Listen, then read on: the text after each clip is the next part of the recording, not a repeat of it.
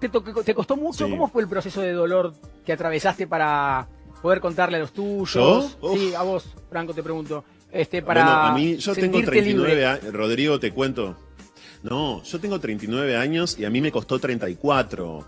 Eh, en ese sentido quiero dejar claro que no soy canchero, nunca lo fui ni lo voy a hacer en toda mi vida y que me costó muchísimo más que a cualquier persona o por lo ¿Quién menos te costó o más? por lo menos eh, a muchas personas que yo conozco con quién me costó más conmigo mismo. Ah, claro. Pero siempre- después, Eh, bueno, yo ya era padre, digamos, eh, hacía muy poco tiempo. En realidad, cuando fui papá ya, ya, ya era gay. En realidad, por supuesto, soy gay desde que, desde que nací, porque en esto también quiero dejar claro algo. Yo escucho mucho hoy la palabra elección y ojalá pudiéramos elegir como elegimos una remera o elegimos Sí. café o café con leche cuando estamos en un bar como en este. ¿no? es una elección inconsciente, Franco, no consciente. No, me parece, que es una elección de no forma de cuestión- vida, Franco, lo que se expresa a uno. No, lo no a uno no lo expresa como como Sí. como Naturaleza. discriminatorio, como naturaleza. No, claro. Sí. Es otra otra Por intención. supuesto, me yo me parece que pongo no hay un que poco hincha con las palabras, Sí. pero por de defecto decir, mira, profesional. de decir pero a mí me costó mucho, a mí me costó sí. muchísimo. Ah, Ser, ser gay es una Sí, postura a mí de me costó un vida, montón. es una aceptación de vida Claro. ante los Sí. demás que más allá de hablar de un gusto o una preferencia sexual. claramente uno pudiera si yo pudiera elegir, iría con una chica por la calle para poder besarla tranquilo.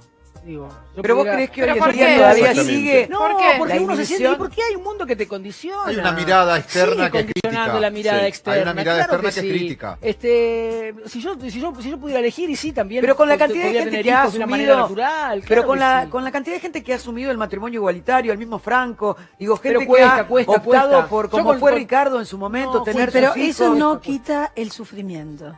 Pe- Pero por eso pregunto, digo, a esto iba, iba una pregunta. pero Aún así, tanto. con No todas estas tanto. barreras atravesadas, ¿sigue la mirada del Y- otro y molestando? Sí, condiciona, la mirada del otro condiciona. Bueno, estábamos hablando de lo que te pasó a vos. Me, me corrí por esto de, y me metí por esto de la elección, pero. A mí me, cuesta. no, perfecto. Sí, a mí me, a mí me, me costó muchísimo y fui muy infeliz eh, hasta los 33 años. Me acuerdo que el día que cumplí 33 años ah, me encerré en un cuarto, estuve todo el día solo y mm, sentí claramente que a, que a partir de ese día, en julio eh, de ese año, eh, iba a vivir de, de- públicamente eh, de otra forma. Me costó 33 o 34 años. Hubo un detonante que te permita y por- correrte del lugar. eh, Sí, sí, sí, la el nacimiento de mi hija. ah, Eh, yo cuando, cuando supe que, que iba a ser padre, ya no estaba viviendo con la mamá de mi hija, pero bueno, de algún modo compartíamos un mismo espacio sin, sin estar juntos y yo sentí que no podía seguir adelante eh, en la vida si no manejaba con mi hija mi verdad. Yo soy un fundamentalista de la verdad, lo que no significa que tenga siempre razón, significa que, Defendés que la tuya. anteponer mi verdad. Y yo la miré a mi hija bebé y sentí que, que, que tenía que decirle la verdad. Muchas veces he dicho que yo soy gay porque soy padre, no es que soy gay y además soy padre. Eh, soy gay gracias a que, a que fui padre. Creo que si no hubiese sido padre o no hubiese nacido mi hija, probablemente no hubiera salido del closet. Por lo que a mí me interesa mucho dejar claro que este siempre es un proceso dificilísimo, eh, aún hoy, mucho más allá de las leyes, porque las leyes cambian la vida de las personas, pero hay otro montón de, sí, pero no de- de siempre sus fenómenos mentes. en la calle, en no tu cotidianidad. mentes. Es Cambian que, claro, la vida de los que quieren no Sí, cambiar. el cambio social leyes. viene después. Pero eso lleva muchos años. la y me parece que estamos como a mitad de camino. Claro, pero- Yo cuando era chico, eh, esto era terrible. Era Era, era, terrible. indecible. Era Hoy terrible. es decible, lo puedo hablar en televisión y pasar un mensaje y está buenísimo. Y capaz que no lo voy a ver yo, eh, pero dentro de varias generaciones sea lo más normal del mundo. Rodrigo, Ni se debata, había ni gente- se Ni charle. ni lo debatamos. Ojalá. Había gente en una época que llegaba a casarse, constituir un matrimonio aún siendo gay Sí. y tenía Sí, una obvio. vida paralela y todo Sí. el mundo sabía que esa Muchísimo, persona no muchísimo. era heterosexual y realmente lo hacían porque querían conformar Bueno. una familia para conformar a la sociedad y a su entorno. Obvio, Una locura. Y si me permitís Bueno, acá mencionar hay a una alguien- deuda.